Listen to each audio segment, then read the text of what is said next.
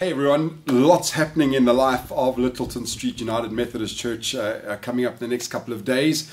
Um, so here's some of the stuff that you need to be aware of, stuff that you need to have in your calendar. Um, so Walt's going to take us away with the first event. Yeah, so tomorrow, Wednesday, July 28th at 6.30 p.m., uh, we're going to have a meet and greet where uh, Pastor Gary and myself will be um, in the fellowship hall uh, welcoming you guys, uh, accepting any questions you might have. Um, and we ask that you bring ice cream and cookies, um, and we'll try to bring some ourselves. Well, uh, just I don't know what your what's your favorite ice cream. Ooh, uh, anything with chocolate or cookie dough in it. Okay, cool. Yep. I'm a straight out uh, vanilla or strawberry ice Okay. cream, and that's so I'm.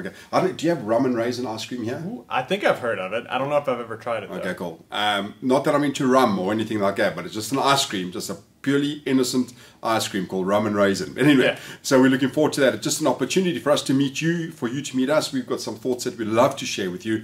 Uh, and of course, if you've got questions, um, as Walt said, um, just just let us know.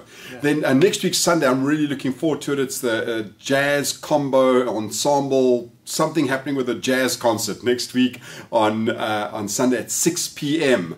Uh, we'll be meeting uh, outside. Uh, it's going to be a great evening. Uh, the youth are going to be there and they're going to be supplying food and that, or there'll be food for you to buy, purchase, just to raise some funds for the youth. in there, please join us. It's going to be an incredible afternoon going into the evening of just relaxing and listen to some, listening to some great jazz music.